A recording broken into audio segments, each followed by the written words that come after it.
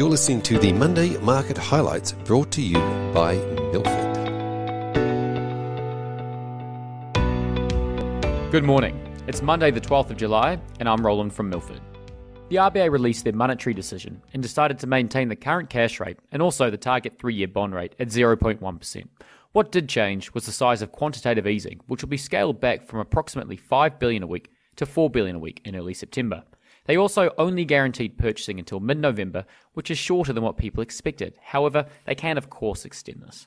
Now, there's a lot to unpack in Lowe's speech, but ultimately they want to see sustained wage inflation, which in their mind requires an unemployment rate around the low 4% mark.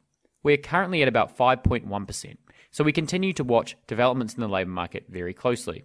OPEC failed to reach a deal, despite extended talks as tensions between the UAE and Saudi Arabia increase the potential outcomes of this stalemate abroad, from no change to the status quo to UAE potentially leaving OPEC, which they've threatened to do in the past.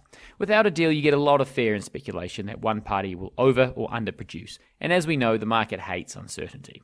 Would still expect a deal to eventually occur, as these tensions have historically been well addressed. However, it's fair to say they aren't too pleased with each other, given they couldn't even decide on the next meeting date.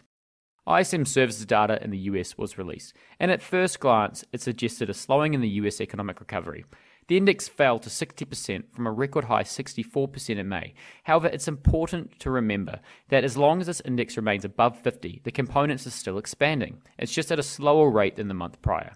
One quote from the survey, which is worth highlighting, was made by a retail company that said they continue to see cost increases, delayed shipments, pushed out lead times, and no clarity as to when predictive balance returns to that market. So even if growth is slowing, it is still growing at a strong rate with tight employment and inventory levels. The key equity news domestically was the bid for Sydney Airport from a consortium of investors at $8.25 a share, which was a very healthy 42% premium to its previous close. This priced Sydney at 23 times FY19 EBITDA, which is a premium to its historic trading range of 18 to 20 times. Now, there are a range of complicating factors. However, the consortium is one of highly sophisticated investors, so they obviously would have thought through strategies to overcome these hurdles. Also, don't sleep on Macquarie, who are apparently putting together their own consortium for a competing bid. Tabcorp also released the result of their strategic review, which turned down the acquisition proposal for their wagering and media business. They now plan on spinning off the lottery and keno business into a separately listed entity. Now, the market is clearly not happy with this, as the shares have continued to trade lower since the announcement. It seems unlikely a deal will now be done just for the wagering and media business. However, there's a small chance a party could bid for the whole business. Now, there's a bunch of interesting data to look out for in the coming week. Domestically, the lockdown continues to worsen in Sydney. However, we do have a playbook for this. The key thing to monitor is obviously cases, but also the hospitalisation rate.